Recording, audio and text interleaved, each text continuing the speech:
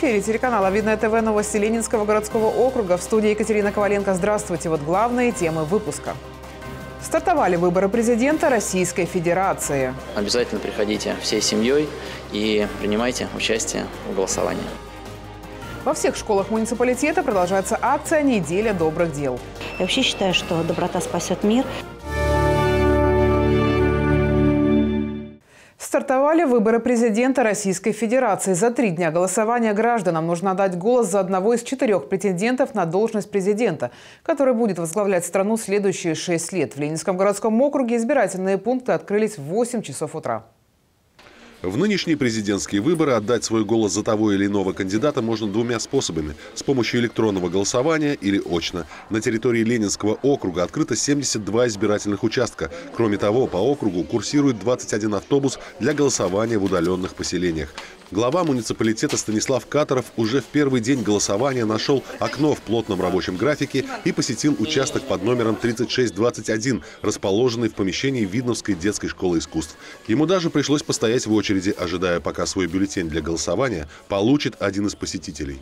Ленинский городской округ традиционно активен, и сегодня мы видим а, активность в голосовании наших жителей. Это очень здорово, когда действительно искренне жители приходят, голосуют и выбирают свое будущее. Поэтому все, кто еще не проголосовал, я призываю приходить на избирательные участки. Обязательно приходите всей семьей и принимайте участие в голосовании. Выбирайте будущее России.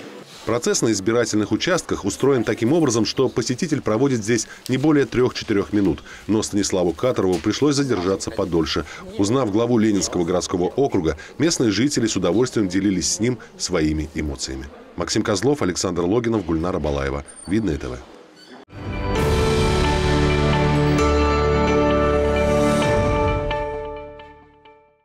В Видновской школе номер 7 расположены избирательные участки 1301 и 1302. Здесь проголосовать могут жители Жуковского проезда и проспекта Ленинского комсомола. С самого утра в фойе учебного заведения оживленно. Обстановка доброжелательная. Наблюдатели пристально следят за соблюдением правил и безопасностью на участке. Многие пришли сделать свой выбор до начала рабочего дня, как, например, директор детского оздоровительно-образовательного центра «Дельфин». Гульнара Романадзе проголосовала одной из первых. Это событие важное должно быть для всей страны, для всех жителей, для моей семьи и для моего коллектива, конечно. Это гражданский долг. Начнем с этого. Обязательное участие в выборах стало доброй традицией для семьи Светланы Шкредовой. На избирательный участок она пришла вместе с дочкой и внучкой. Сегодня очень важный день, потому что сегодня решается судьба России – вот. И мы голосовали за главного человека России. Наталья Буслаева, Александр Логинов, Гульнара Балаева. Видное ТВ.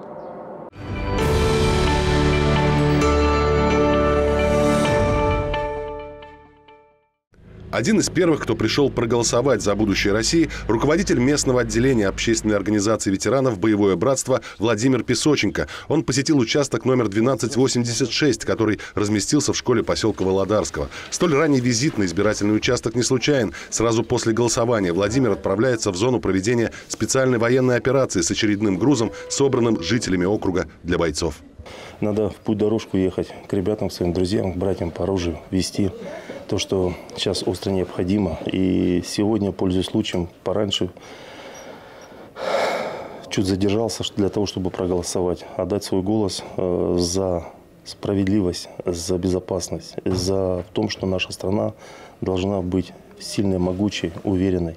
В Грузии, который повезет Владимир Песоченко, не только оборудование и вещи, необходимые на передовой, но и рисунки и детские письма, в том числе написанные школьниками муниципалитета в рамках акции «Неделя добрых дел», которая сейчас проходит в Подмосковье. Максим Козлов, Кирилл Иванов, Ольга Садовская. Видное ТВ.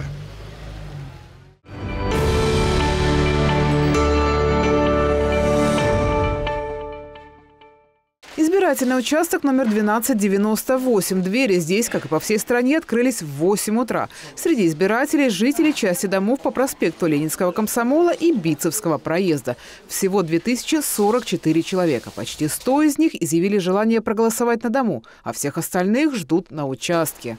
Сегодня первый день, я сама вот удивлена, очень активно ходят. У нас на сегодняшний на данную секунду уже почти 150 человек.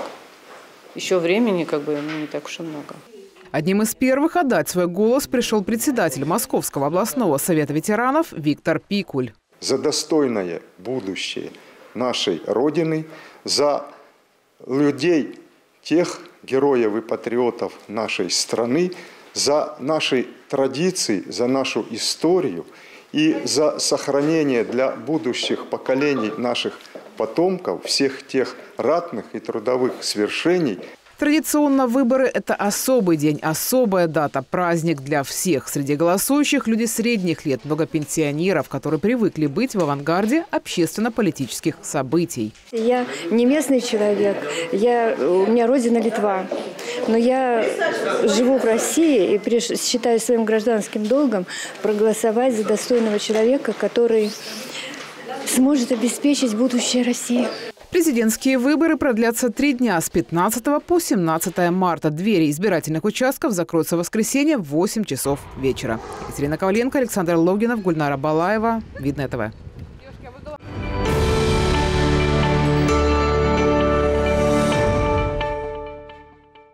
В детской школе искусств города Видное находятся избирательные участки 3622 и 3623. Здесь уже собрались неравнодушные жители, пришедшие выразить гражданскую позицию. Выборы президента Российской Федерации – главное событие в политической жизни страны. Председатель участковой избирательной комиссии 3622 отметила, количество жителей, пришедших на участок, увеличивается в течение дня. Уже больше ста человек. С утра люди, сегодня пятница, рабочий день, и люди перед работой э, стараются прийти проголосовать. Отдать свой голос пришла и социальный координатор Государственного фонда «Защитники Отечества» Анна Морозова. Она призвала каждого проголосовать за будущее нашей страны. Я, как всегда говорила и буду говорить, если у тебя есть выбор, ты его должен сделать. Здесь все, наверное, четко и ясно, потому что мы с вами прекрасно понимаем, что только от нас зависит то, что мы сейчас делаем. Принять участие в выборах может любой желающий гражданин Российской Федерации, достигший 18 лет. Я с нетерпением ждала, когда мне исполнится 18 лет, чтобы пойти голосовать за своего президента. Для нашей страны это очень важно, ведь э, от нашего выбора, от нашего голоса зависит а, наше будущее. Инга Янчук, Александр Логинов, Ольга Садовская. Видное ТВ.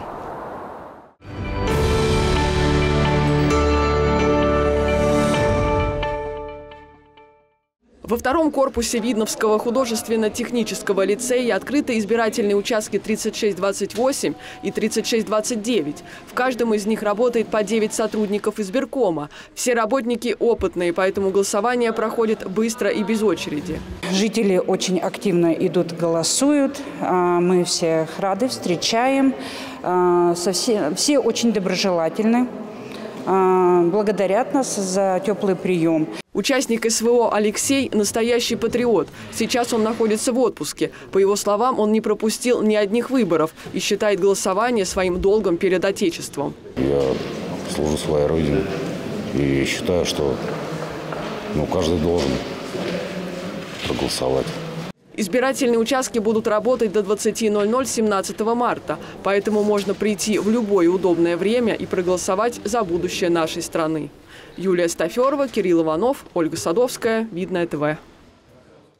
В Ленинском округе продолжается акция под говорящим названием «Неделя добрых дел». Глава муниципалитета посетил 11-ю Видовскую школу, чтобы пообщаться с ее участниками и лично оценить некоторые результаты акции. Неделя добрых дел проходит в рамках подмосковной акции «Доброе дело», которую организовало Министерство информационных и социальных коммуникаций региона. В 11-й Видновской школе, куда приехал глава округа Станислав Катаров, акция в самом разгаре. У нас второй день э, проходит э, день недели доброты. Я вообще считаю, что доброта спасет мир, поэтому э, каждый человек должен стараться как можно больше делать доброе дело не на показ, а для себя. И делать это от чистого сердца. В рамках акции проходят мастер-классы по выпечке блинов. Впереди один из любимых российских праздников – Масленица. Получается? Ой, еще бы не Но вы же под надзором же? Ну а как же? Не нарушают технологию, нет? Не, не нарушают, Все, умнички. А, молодцы. Молодцы. Впрочем, как выясняется, многих ребят учить не надо. Есть и опыт, и знания секретов мастерства. У меня есть любящая бабушка, даже две, ну и обе ни много ни мало учили. Ну, думаю, самое сложное – это учиться переворачивать. То, что ты вроде и цепляешь, оно не переворачивается, но где-то прилипло. Ну, все в этом духе.